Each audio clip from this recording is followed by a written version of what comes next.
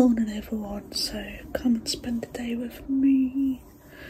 Um, I'm taking Harrison for a blood test this morning, which I won't record any of that because it's personal. and then I'm going to the city to do a little bit of shopping and have some lunch and meet Connor. So yeah, and I'm having a work day this evening. So yeah.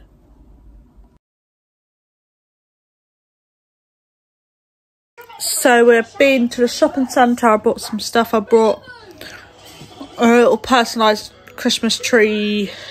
It's a Into Showman tree ornament for Harrison's little cousin. Um, I brought some trousers and a jogging set for Harrison. Uh, tracksuit, whatever you want to call it. To put in his stocking for Christmas. What else did I get? Um, I don't remember what else I got. But yeah, so we're back home now. Um, I'm just to chill for a bit. And then about five o'clock I'll start getting ready to go out. Um, I do need a bath later as well, so yeah. Exciting.